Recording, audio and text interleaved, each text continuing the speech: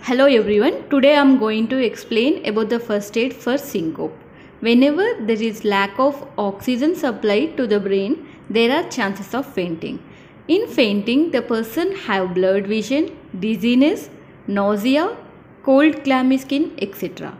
There are many chances of syncope like if the person have hunger, dehydration, stress, if the person stands for a long time or if the person works in a hot sun, if they have pain, there are chances of fainting. So whenever person faints, the main first aid to be done is we should ask the person to lie down, lie on the back and we should raise the legs above the level of heart. It increases the oxygen supply to the brain. And later if the person wore tight clothes, we should loosen the tight clothes etc.